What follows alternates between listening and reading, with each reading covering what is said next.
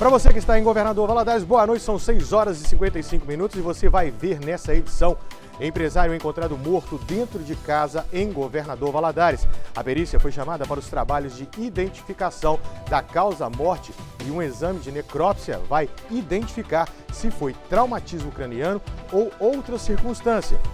Mega operação mobiliza forças de segurança contra uma organização criminosa que movimentava milhões em vendas de drogas. A investigação aponta que a rota que a rotatividade era considerada estilo drive-thru.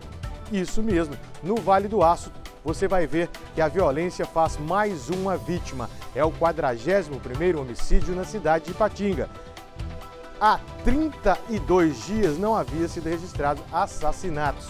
Na cidade de Goiânia, sete pessoas foram presas suspeitas de integrarem uma organização criminosa que praticava furtos de fio de cobre. Tudo isso e muito mais agora no MG Record, pela TV aberta e no Facebook, facebook barra facebook.com TV Leste.